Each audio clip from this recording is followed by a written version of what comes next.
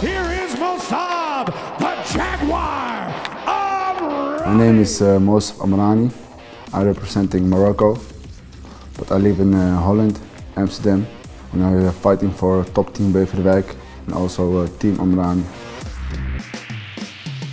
I love my country. Uh, I'm more Moroccan than Dutch, you know, because uh, my parents are Moroccans, and uh, yeah. But I am also uh, Dutch, but you know, my my uh, my roots is Moroccan. That's the, what, the one thing that I never will forget. When I was a little boy, I started with uh, training in Amsterdam. I was, I think, uh, 14 years old. And I also fight my first fight when I was 14 years old, and there it all begins. Yes, and now I'm 27, and I'm still fighting. Mosab the Jaguar Amrani has been one of the top talents in this weight class for many years now.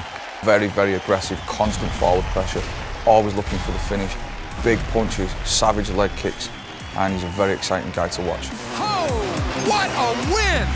Mosab I fight a lot of good guys, uh, also in Glory. I think my first fight was against Liam Harrison in London.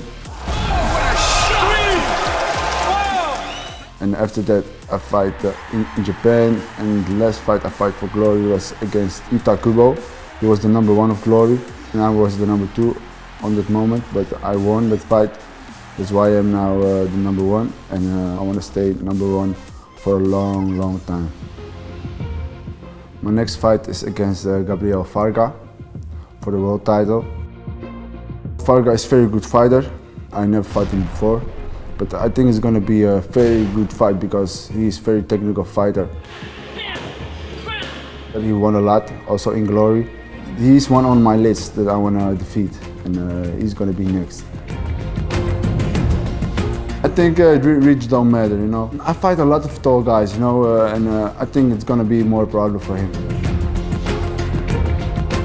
I trained very hard, you know. Uh, it don't matter how big he is, how strong he is. I'm gonna fight. I'm gonna fight. I'm gonna give everything, and that, uh, the only thing I want is the belt.